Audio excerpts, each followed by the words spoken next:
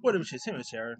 Looks like A24, ha- uh, according to Deadline, has come on board to uh, acquire the rights to the upcoming film Todd Huntington, which is being directed by Emily the Criminal director John Patton Ford and will star Glen Powell.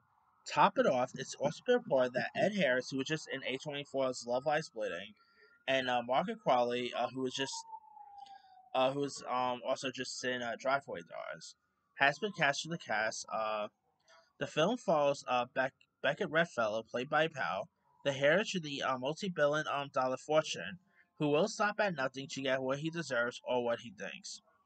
Uh, no release date has been set. Uh, I mean, this could be a train. Uh, not really sure who Ed Harris is gonna play, uh, or Margaret Qualley, but th- those are two really good actors. Like Margaret Qualley is really becoming one of the best actresses in the business. You know, Drive Away thought she was great Once Upon a Time in Hollywood. Like I could totally see an Oscar on a match in the near future. Uh, Ed Harris, you know, he's obviously a living legend. Glen Powell's always great. So I, I think this could be interesting to check out. Of course, this is being um John's you know follow up to Emily the Criminal, which was great too. So hopefully this could be his next uh, good one. But let me let you guys. Uh, what are your thoughts on A24 acquiring the rights for this film called Huntington? Do you like the sound of it? Do you like the idea of A24 picking this one up? Uh, do you like the idea of Marco Qualley and and Ed Harris joining the cast? Drop below. Don't forget to like, subscribe, hit that bell for notification. This is